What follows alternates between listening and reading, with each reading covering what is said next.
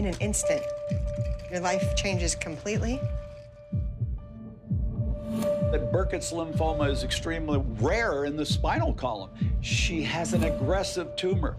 I was ready to go back to work and start my life over, and now I can't walk. Would you call this emergency like surgery? Like if had you waited longer, like it could have gotten so much worse? She would have died.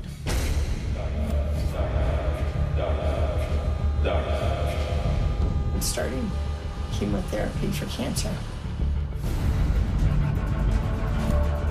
Abby has the tools. It's about determination, it's about grit, it's about controlling your destiny.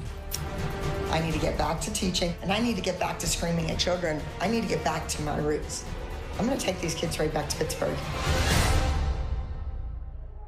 You guys want to meet Abby?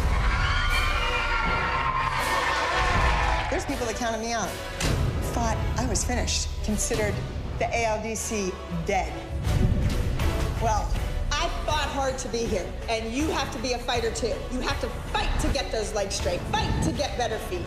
You have to fight to be a champion. I have my own personal goals, and I have goals for the team. I need to be ready for that first competition. We need to make a statement on that stage that the ALDC is back. Watch out.